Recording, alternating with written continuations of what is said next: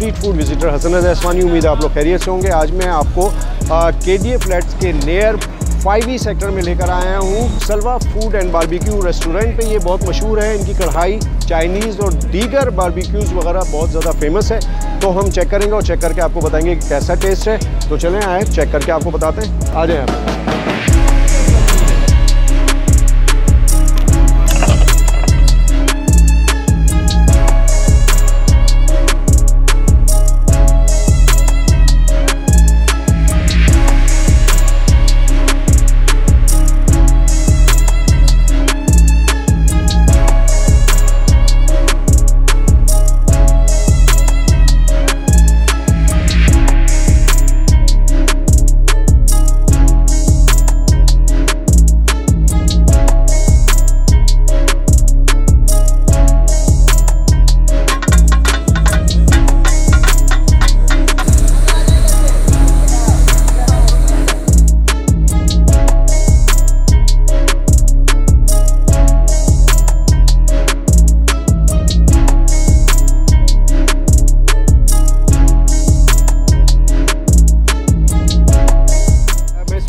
जाफ़र भाई के पास सलवा रेस्टोरेंट के बारबेक्यू के ऑनर हैं। जाफ़र भाई कैसे हैं आप? खैरियत अच्छा जाफ़र भाई कितना टाइम हो गया आपको यहाँ पर? तकरीबन नौ दस साल हो गए यहाँ पे दस साल हो गए। माशाल्लाह से रश तो हम देख रहे हैं काफ़ी होता है। तो क्या क्या वैरायटी आपकी ज़्यादा फ़ेमस है यहाँ पर? हमारे पास सारे ही आइटम होते हैं तकरीबन अच्छे ही हैं। चाइनीज़ भी है फास्ट फ़ूड भी है तिक्का भी है कढ़ाई है। कढ़ाई में चार पाँच वैरायटी है। टाइमिंग वैसे आपकी क्या है? हमारी चार बजे तो रेस्टोरेंट खुलता है लेकिन छः बजे खाना हमारा रेडी हो जाता है तकरीबन। छः बजे के यानी कि छः बजे के बाद से लेके रात रात दो बजे तक। दो सवा दो ढाई बजे तक और यकीन ऑफ़ कोई नहीं। तो वीवर्स हमने अभी आपकी जाफ़र भाई से मुलाकात करवाई। बहुत मसरूफ़ आदमी बहुत मसरूफ़ चल रहे ज़्यादा मैं उनको डिस्टर्ब नहीं करूँगा। जब आपको चाइनीज़ और बलोची कढ़ाई चेक करके बताएँगे कि इसका मैार कैसा है। उम्मीद है कि अच्छा ही होगा तो चले हम चेक करते हैं चाइनीज़ वगैरह भी ले लेना। चाइनीज़ भी बहुत अच्छा है। चाइनीज़ और बलोची कढ़ाई। बहुत अच्छा है। अलावा भी सारी चीज़ें अच्छी हैं सारी चीज़ें सारी चीज़ें चेक करके आपको बताएँगे।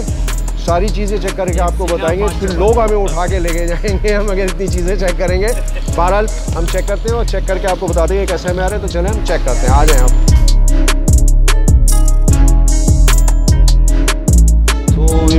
देखें हमारा बलोची कढ़ाई और चिकन शाशलिक विद राइस ये दो चीज़ें हमने ऑर्डर की थी, इसलिए कि हम ज़्यादा तो ट्राई नहीं कर सकते थे।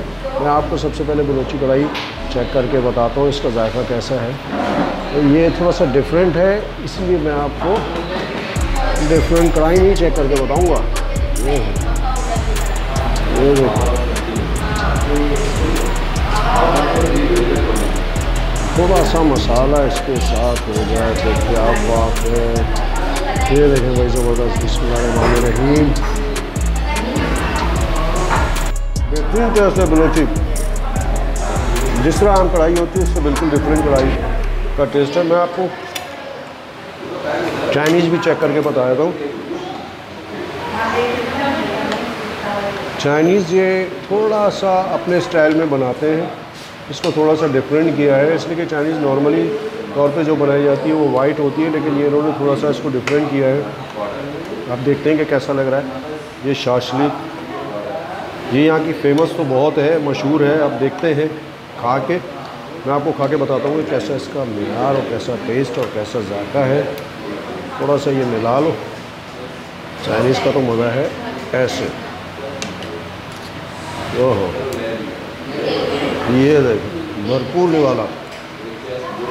ये देखें भाई, बिस्मिल्लाह रहमान हम्म। शाशलिक का अपना मज़ा आ रहा है। बेहतरीन मज़ा है। थोड़ा सा जो इन्होंने चावलों का स्टाइल चेंज किया है चाइनीज़ में, वो लाजवाब है, बेहतरीन है, ज़बरदस्त माशाल्लाह से। व्यूवर्स अगर वीडियो पसंद आए तो उसे लाइक करें शेयर करें सब्सक्राइब करें। और अपने होस्ट हसन रजा इस्मानी को इजाज़त दें। असल वरह